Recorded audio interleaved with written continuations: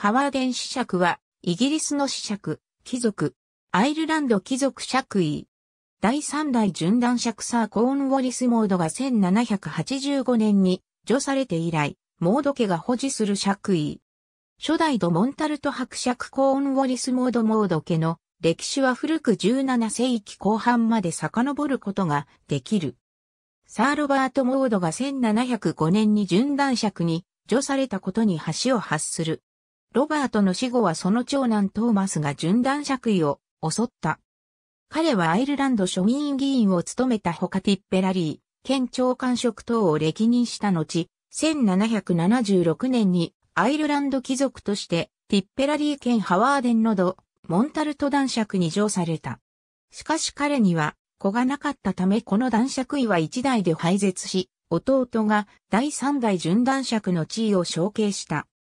第三代準男爵コーンウォリスはロスコモン選挙区選出のアイルランド庶民委員議員を務めた後、1785年にティッペラリー県ハワーデンノド、モンタルト男爵に上された。ついで1793年にはハワーデン子爵に上る爵している。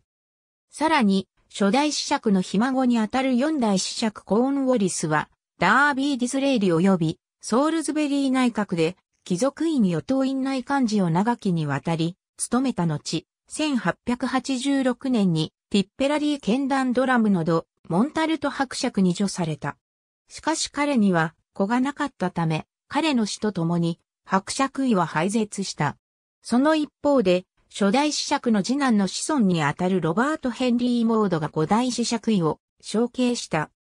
その後、四代子爵の孫にあたる六代子爵ロバートがコールドストリームズ連隊付将校として第一次世界大戦に従軍し、西部戦線で戦死したため、六代子爵のいとこが七代子爵の地位を相続した。その後は七代子爵の系統で現在に至っている。一族の邸宅は、ケント州エディシャム近郊のグレート・ボシントンファーム。なお、ティッペラリー県カッシェルに位置するダンドラムハウスは、子爵家の宮邸宅であった。現当主である第9代ハワーデン子爵、ロバート・コナン・ウィンダム・レズリー・モードは以下の爵位を保有している。法定推定相続人は、現当主の息子であるベリアン、ジョン・コナン・ユースタス・モード閣下。ありがとうございます。